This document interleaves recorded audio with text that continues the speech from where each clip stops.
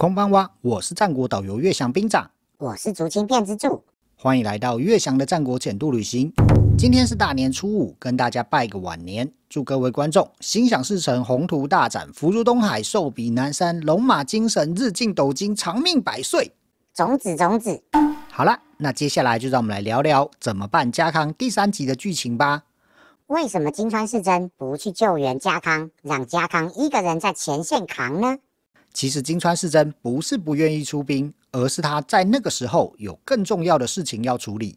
话说金川、武田、北条缔结了三国同盟，有义务要去出兵协助自己的同盟国。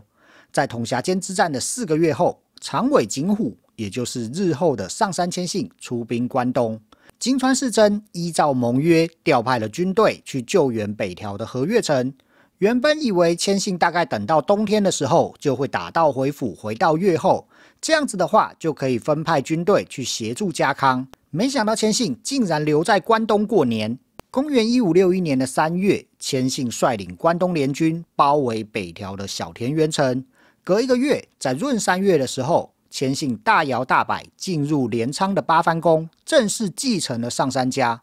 导致金川能够出动的部队。就这样子被卡死在关东，动弹不得。根据史料记载，家康在四月的时候攻打吉良一招。虽然在大和剧第三集里面没有说水野信元跟于大夫人是什么时候去游说家康的，但是如果从这个时间轴去倒推的话，大概就是在千信包围小田园的这一段时间吧。从统辖间之战到家康打吉良一招这段时间。家康带着自己的部下扛了快一年的战争，也难怪家康旗下的家臣会闹内讧，觉得金川家不会来救援了。金川世真也真奇怪，自己的领地失火了，还分兵去救北条。不过这样想就有点事后诸葛亮打马后炮了。如果金川世真不去救北条的话，搞不好日后会被北条或者是被织田夹攻，甚至是被千信跟织田夹攻啊。那样子片名搞不好就要改成怎么办是真了。兵长，那武田信玄呢？他不是也参加三国同盟吗？为什么不去救金川的小弟家康呢？还说家康不够格跟他见面呢？嗯，就兵长所知，家康这个时候应该没跟武田信玄联络。这应该是编剧为了要让武田信玄提前出场，所以才写了这一段剧情。不过这一段剧情的说法确实符合当时的社会观念。因为在战国时代，严格来说是士丁幕府的时代。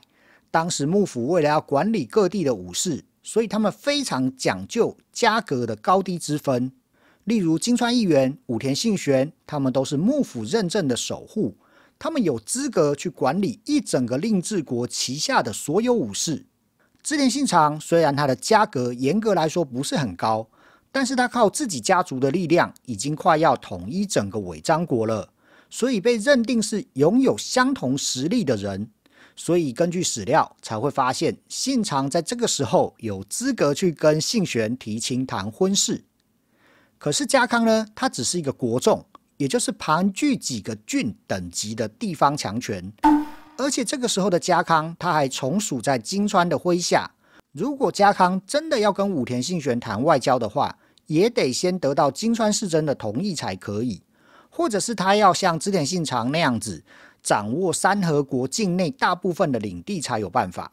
可是兵长，片子里面一直说家康是三河国的领主啊，为什么兵长说他只是盘踞几个郡的地方强权呢？嗯，其实这个是德川家后来的宣传手法，因为三河国受到地理的限制，长期以来分成东山河跟西山河两个大区块。家康的祖先活动范围大概都在西山河这一块。虽然家康的爷爷松平清康曾经一度打赢东山河的其他国众，但是家康的爷爷被暗杀之后，那一些山河国的国众就自由放飞了。到了后来，家康的爸爸松平广忠的年代，他跟其他的山河国众都从属在金川议员的麾下，所以严格来说，大家的位阶都差不多。就算真的要说三河国自古以来属于德川，那也要等到家康打下东山河，改姓为德川，跟朝廷申请三河守的事情了。所以不能偷换概念，认为德川家康后来统一整个三河国，就说他的祖先松平家自古以来就是三河国的领主吧。所以只要听到有人说自古以来，都要先在心里打个折扣喽。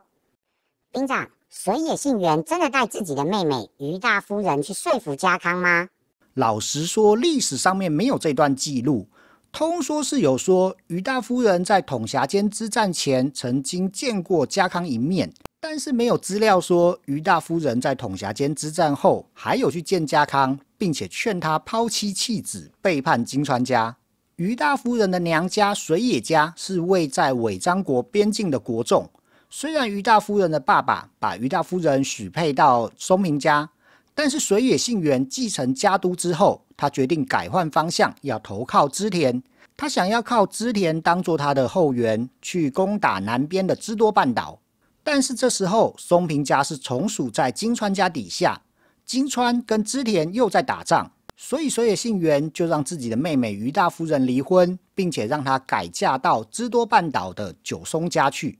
借此来里应外合，拿下整个知多半岛的统治权。所以也有历史学者认为，水野信元严格来说，他不是织田的家臣，而是跟织田有对等关系的同盟势力。只是因为织田越来越强大，所以后来水野信元的话语权就降低了。就算如此，对这个时候的家康来说，他的舅舅水野信元还是一个很难缠的对手。而且在战国时代，说真的，牺牲人质也不是一个非常稀罕的事情。既然家康等不到金川家的援军，他也没有办法再独自对抗水野加上织田的势力，所以大和剧才会安排于大夫人出场，让他去推家康一把，来劝家康牺牲自己的妻儿，选择投靠织田吧。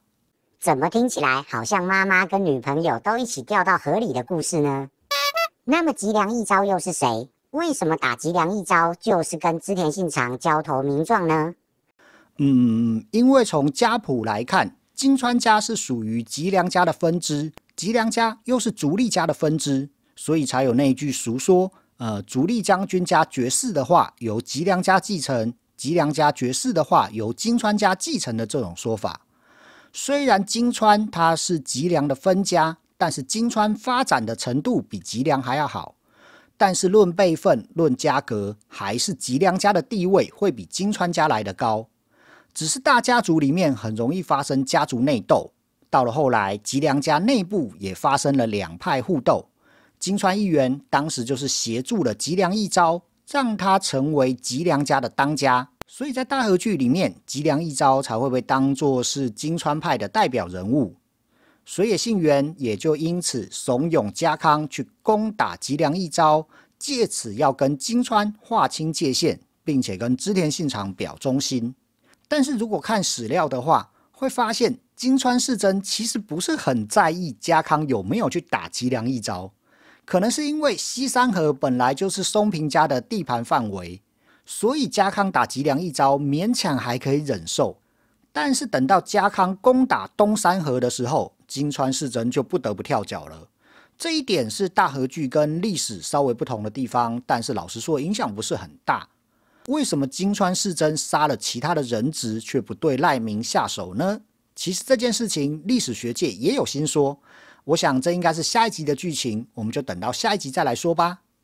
关于怎么办家康第三集，老实说，兵长觉得他终于回到大和剧的水准了。第一集跟第二集感觉有点搞笑跟历史。弄得好像两头空的感觉，但是在第三集就重新着眼家康身为一个边境国众，到底要怎么样做选择的事情。其实当时的国众对他们来说，他们只是从属在大明的旗下，换取自己家的安全保障。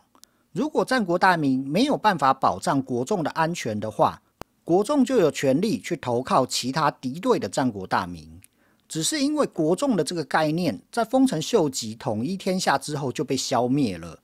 导致在江户时代的说法，经常都会把国众当作是战国大名的家臣，认为家臣的背叛就是一个不可饶恕的事情。但其实这种说法并不符合战国时代的真正情况，所以要拿江户时代的武士的伦理观去套在战国时代，就会产生很多的冲突。所以就常常会有人认为武士不是应该忠心吗？为什么战国时代不忠心？其实不是忠不忠心的理由，而是国众本来就是依附在战国大名底下得到军事保障。战国大名没有办法提供军事保障的话，国众本来就有离开他的权利，只是人质可能就会被处分，会有这样子的后遗症而已。在这一集里面，兵长特别赞赏的就是后面的这两段剧情安排。他一开始先让石川蜀正还有酒井忠次直接跟家康说，三河国的武士已经对于金川家没有向心力了，大家不会再去管金川的死活。所以前段先讲理，然后接下来再用于大夫人再讲情，这种两段的安排方式，才能让观众去感受到家康身为一个边境国众的苦闷。我想这样子安排是很好的。真的要挑毛病的话，大概就是白脸都是家康在做，黑脸都是其他人在做这个问题吧。不过按照剧情安排，这本来就是一个善良正直的家康，怎么样变成统一天下的德川家康的心路历程。总而言之呢，呃，兵长认为第一集跟第二集稍微有点混乱期，幸好第三集已经度过了，接下来就会看到家康会面临到更多人生的抉择吧。好啦，那么今天我们就聊到这里喽。祝大家新年快乐，也请大家继续支持月翔的战国浅度旅行。我们下周再见喽。